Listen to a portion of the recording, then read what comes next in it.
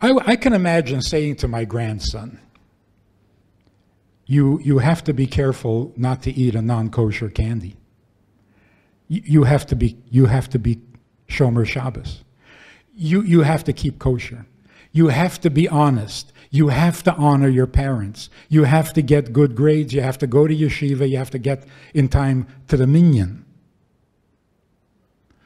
And I can imagine my grandson saying, I thought about it, and uh, actually, I don't need any of that. you keep telling me I need to, and I, I really don't. I don't need to. Why do I need to? And if I was religious, what would I say? Oh, yes, you have to. You know what happens to people who sin. Oh, so now I'm bullying him. now I'm trying to scare him into behaving. This is not Judaism. That's religion. Religion says you are obligated, you must, you have to. What's going to be with you? Get your act together. Be a mensch. It used to work. It's not working. Not only religion, society. Every child is told, got to go to school. You have to go to school. You have to get good grades. You have to get a job. You have to get a house. And then you have to pay the mortgage. And the taxes. And the insurance. And you know what people are saying today? Took a long time, but they finally came up with it. You know, there's this guy who was suing his parents for giving birth to him without his consent?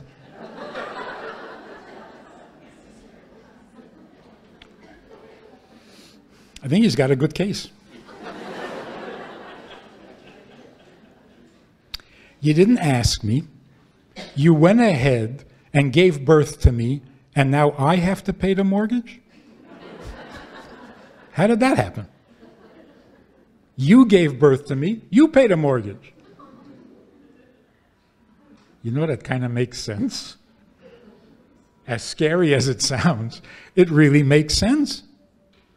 I didn't ask for this. You made me, so you pay for me. Doesn't that make sense? Anyway, the, the, uh, the case was thrown out. Now, this is real. Both his parents are lawyers. He didn't have a chance. but but they threw it out of court because the parents said, We were trying to consult with you, we couldn't find you.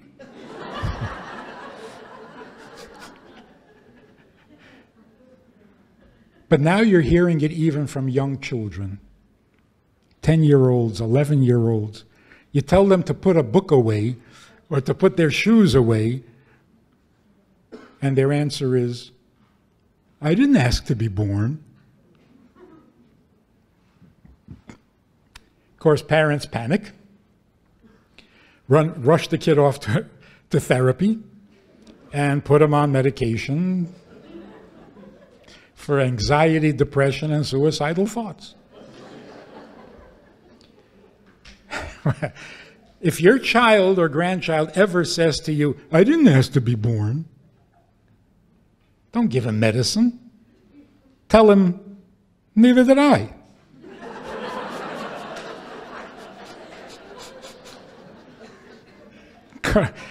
Because it's true. You didn't ask to be born. And you know why you didn't ask to be born? Because you don't need to be. If you needed, you would have asked. You don't need to be. Isn't that a shocking thought? Doesn't it sound a little suicidal? you don't need to be here. You don't need to be born.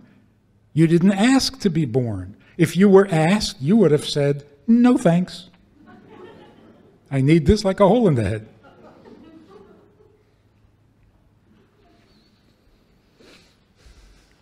So look at what's going on.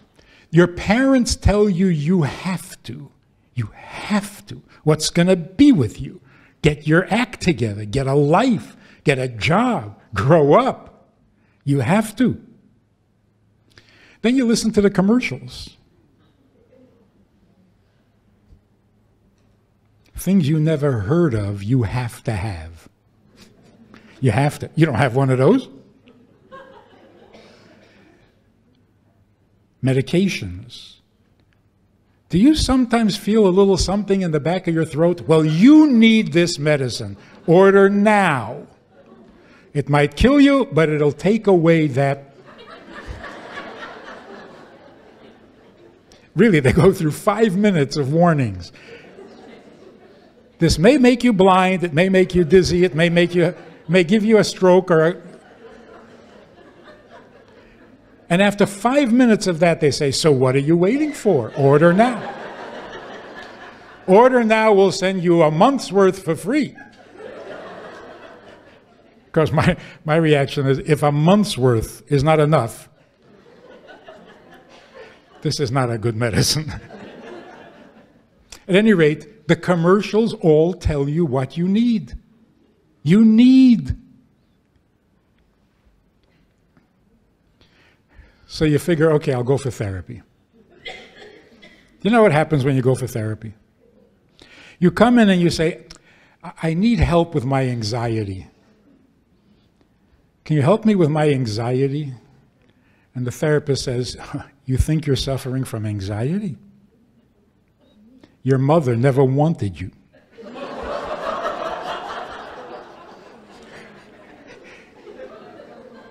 you hate your brother.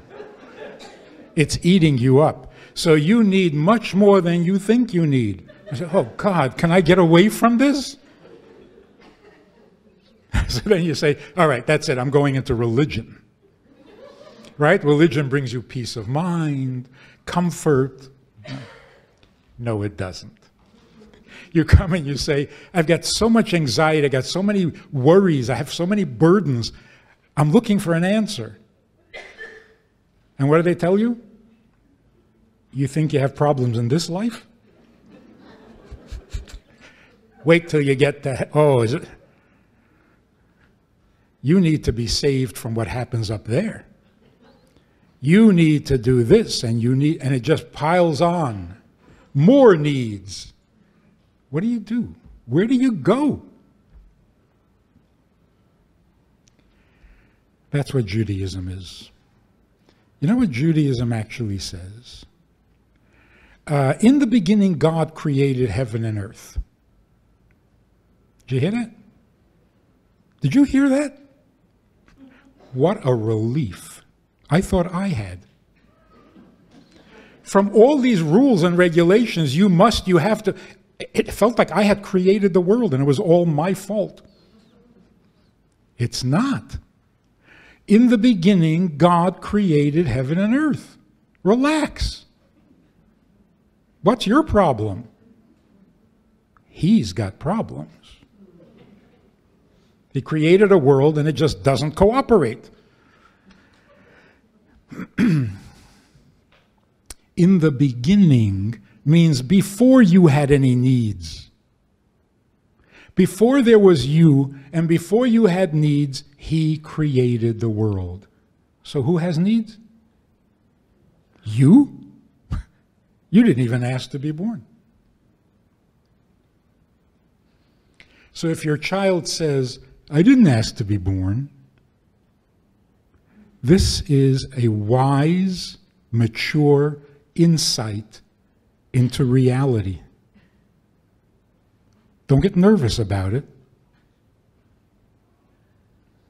Agree with him. We don't ask to be born. And if we don't ask to be born, how is it that it's my responsibility? I have to, I must. No, no. The creator of the world has a need. We don't. In fact, all the needs we do have are not ours. I need to eat. I need to eat.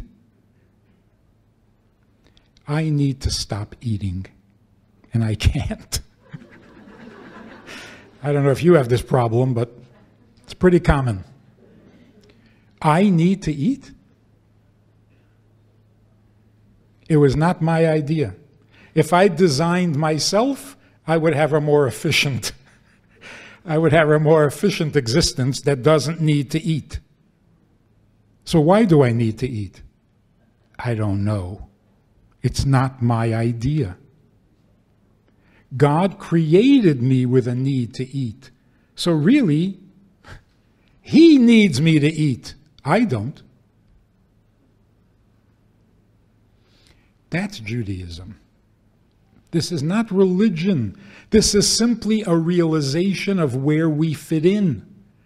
We didn't create the world, and therefore we don't have needs. The Creator created the world, and He has a valid need. And amazingly, the fulfillment of His need depends on us. That's, that's amazing. So, what is a mitzvah? A mitzvah means God depends on you to do what he needs done. So, on the one hand, it's such a relief. It's so liberating. My problem? I don't have any problems. My needs? They're not mine. Makes our burdens so much lighter. And on the other hand, I can do for him. Every minute of the day, there is something I can do for him. And once I get to heaven, I won't be able to do that. Well, then I'm staying here. Leave me here so that I can do for you. So the compliment, the significance that that gives us, you can fulfill his need and on the other hand, they're not your needs. Isn't that amazing? That's Judaism. The problem with religion, besides starting wars, it burdens you and it puts you at the center of the universe. You have needs. God is only here to help you with your needs. He's your valet, He's your butler or your Savior, or your healer, or your lover, or your protector. But He's busy full time taking care of you. You are the center of the world. This is not Judaism, and it's not healthy. Serve God with joy. Does that make sense now? If you're trying to be religious, there will be no joy.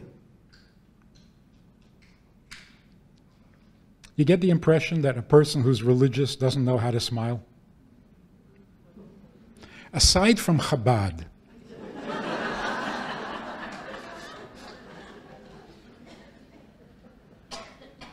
Chabad doesn't fit any of the images. But as, as, a, as a as a default position. If you're really religious, you're very serious, borderline depressed. doesn't it, doesn't it seem that way?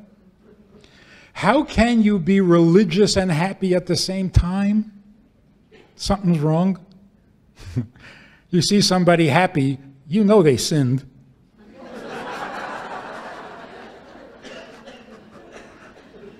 Because if you don't sin, what are you happy about? That's religious. We are not religious. We're not good at it. We never agreed to be religious. We agreed to serve Him. Serve Him means do what He needs. That's a pleasure. That's inspiring. That's uplifting. I can do for you, that is much better than doing for myself. I had this couple, marriage counseling. They were brilliant. in their evil. I, I mean, I've heard people cut each other down. Most couples who are having trouble become brilliant. But this couple, wow. They were so good at it. They would walk in before they even sat down. Didn't you tell her last week that she shouldn't? Well, she did it again. No, I didn't. You st- it was just week after week. It was hard to listen to. So I, th- I came up with a brilliant idea. I said, next week, let's get together at the kosher deli in public. I figured they'll tone it down. we get together at the deli. There are about 20 customers sitting at, their at the tables. It made absolutely no difference. They launched into their attacks and counterattacks. It was as if nobody was in the room. Finally, they're exhausted. And the husband says, I think we have a serious problem here. I said, Actually, it's not that serious. He says, Really? I said, Look, how serious can it be? 20 people here heard all about it. They don't care.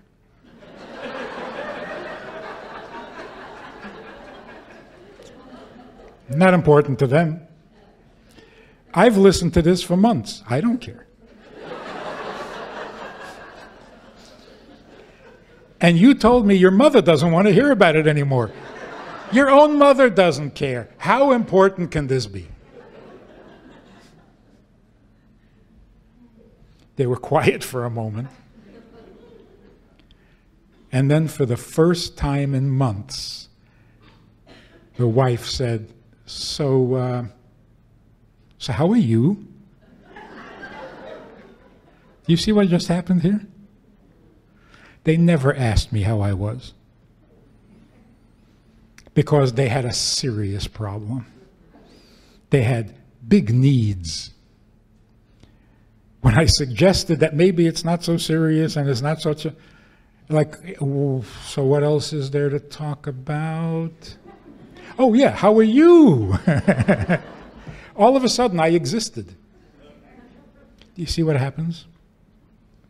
When we relieve ourselves of all these burdens, of all these needs, I must, I have to, I got to, I. Stop it. You don't. You're not the creator. But you can do amazing things for the creator. So lighten up and serve God and be Jewish not religious. We have to spread this message because God has gotten lost in the shuffle. At best, God is there to serve you. And that can't be. That puts too much burden on me, and I didn't even ask to be born. right? So, here's your choice in life according to Judaism. It's very simple. Do you prefer to be needy or would you rather be needed? No brainer. We are needed. Our needs, eh, didn't even ask to be born. So if I don't ask to be born because I don't need to be born, and yet I am born, the natural question is if I don't need this, who does? You've answered all of life's questions. I don't need this, so who does? I don't need, somebody needs me. That is so much better. So don't get religious. Get godly. Shalom Aleichem. How are you? You know, I do a lot of talking, a lot of Zooming, many classes, many subjects. But that's all formal stuff. Hopefully good stuff, but formal. We also have a Wednesday night meeting that's more informal and kind of um, Heimish. If you want to join us for that kind of an event, um, interactive, time for questions and so on. If you want to join us for this side of conversation, click on the link below and join us every Wednesday night at 9 o'clock. Well, maybe not every Wednesday night, but we try to make it every Wednesday night at 9 o'clock, a more informal chat, which uh, can be more enjoyable at times than the formal stuff. So check it out. Click on the link and join us. Try it, you'll like it.